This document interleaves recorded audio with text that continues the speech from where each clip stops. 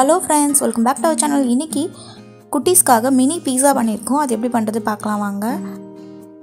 ஒரு பவுல் எடுத்து வச்சுருக்கேன். அந்த பவுலில் ஆஃப் கப் அளவுக்கு வெது வெதுப்பான பால் ஆட் பண்ணிக்கிறேன். இதில் ஒன்றே கால் ஸ்பூன் அளவுக்கு சுகர் ஆட் பண்ணிக்கிறேன்.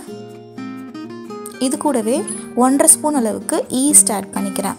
ஸோ இதெல்லாம் ஆட் பண்ணிவிட்டு நல்லா ஒரு மிக்ஸ் பண்ணி விட்டுக்கோங்க. இது போல் நல்லா மிக்ஸ் பண்ணிவிட்டு கொஞ்ச நேரம் அப்படியே விட்டுருங்க.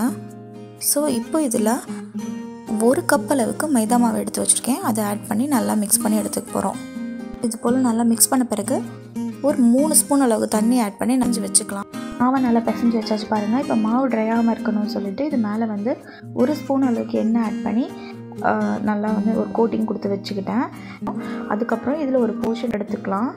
அதை வந்து ஒரு ஒர்க்கிங் ஏரியாவில் கொஞ்சமாக மைதா மாவு டஸ்ட் பண்ணிவிட்டு இது மாதிரி தட்டி எடுத்துக்கோங்க. தட்டினதுக்கப்புறம் ஒரு ஃபோக் ஸ்பூன் வச்சு இது போல் நல்லா ஹோல் போட்டு வச்சுக்கலாம். வீட்டிலே பிஸா சாஸ் பண்ணி வச்சுருந்தேன். அதில் வந்து ஒரு ஆஃப் ஸ்பூன் அளவுக்கு இதில் போட்டு நல்லா ஸ்ப்ரெட் பண்ணி விட்டுக்கோங்க. இப்போ இதுக்கு மேலே குட்டி குட்டியாக கட் பண்ணி வச்சுக்க குடமிளகா சின்ன சின்னதாக கட் பண்ணி வச்சுக்க வெங்காயம் அதுக்கப்புறம் தக்காளி இதெல்லாம் ஆட் பண்ணிவிட்டு இது கூடவே வந்து நான் வந்து ஸ்வீட் கார்னை வேக வச்சு வச்சுருந்தேன். அதையும் வந்து அழகாக ஆட் பண்ணிவிட்டு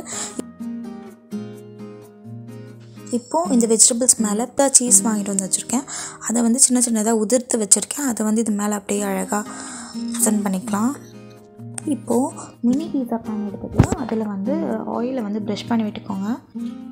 நம்ம ரெடி பண்ணி வச்சுக்க பீஸாவெலாம் இதில் அழகாக வந்து எடுத்து வச்சுட்டு லோ ஃப்ளேமில் seven to eight minutes cook பண்ணி எடுத்தாலே வந்து நம்மளோட பீஸா சூப்பராக ரெடி ஆகிடும் குட்டீஸ்க்கு ரொம்ப பிடிச்சிருந்துச்சு.